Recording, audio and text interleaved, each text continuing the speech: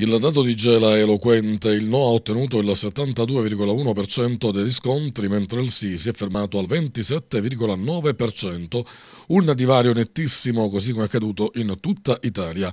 Dei 59.592 elettori chiamati alle urne hanno votato in 20.266, cioè dire il 47,3%, 12.409 hanno votato no, 7.857 sì. I gelesi hanno bocciato la riforma costituzionale voluta dal governo Renzi, che ha subito un colpo durissimo e soprattutto il Partito Democratico, una vera e propria mazzata. Avere sostenuto il premier Matteo Renzi, ritenuto dai gelesi tra gli artefici della chiusura dello stabilimento Eni, ha pesato tantissimo.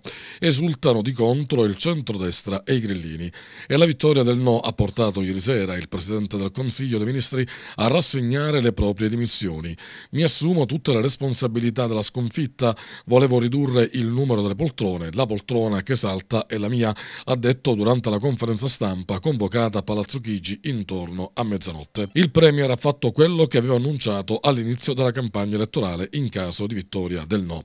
Oggi convocherà il Consiglio dei Ministri, salirà al Quirinale e consegnerà le dimissioni nelle mani del Presidente Mattarella.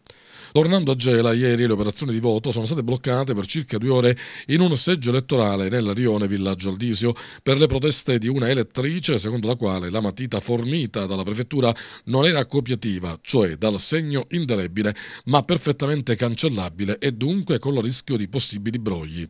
La prova della facile cancellazione l'avrebbe fatta lei stessa in cabina, perciò ha chiesto una dimostrazione ufficiale irripetibile da acquisire gli atti davanti alle forze di polizia, riservando la ricorso alla magistratura. Il presidente del seggio e l'ufficio elettorale hanno preso a verbale le dichiarazioni dell'elettrice e hanno fatto riprendere le operazioni di voto respingendone la richiesta.